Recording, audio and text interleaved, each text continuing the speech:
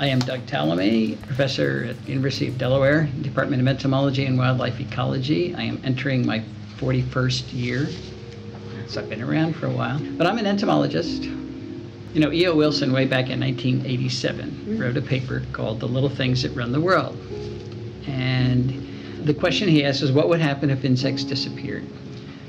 Well, a lot of things would happen we would lose most of our flowering plants because we would have lost the pollinators that, that pollinate those plants. And the loss of the flowering plants would so drastically disrupt energy flow through our ecosystems that the animals that depend on the food webs produced by those ecosystems would also disappear. So we can't lose the flowering plants. And you don't have flowering plants unless you have the pollinators that allow them to, to reproduce.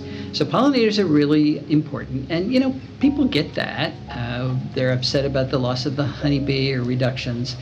Most of them don't realize we have 4,000 species of native bees, and they're also declining. Uh, and that they're actually doing most of the pollination of most of the plants that are that are out there. They're pollinating 80% of all plants and 90% of all flowering plants. If we lost our pollinators, we lose 80 to 90% of the plants on the planet, and that is not an option. So we need pollinators.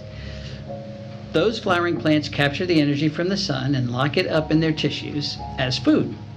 And that's what supports all the animals that are out there only if that energy goes from the plant to the animal.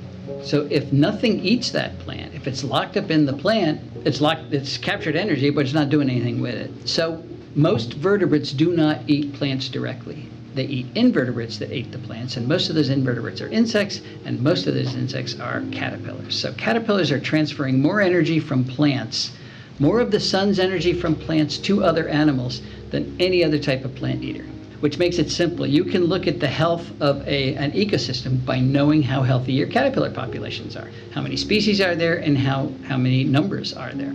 So I wanted to make sure it wasn't a doom and gloom book. Yeah. And then you close the book and shoot yourself. yeah, I.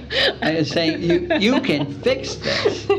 yeah. Uh, particularly if you have gardening skills. Right. Yeah. Not that you need gardening skills to plant an oak tree. But, yeah. but, but you can. You know, there is a solution here. This is that. It, nature's best hope. I mean, it Yeah. is not time to give up.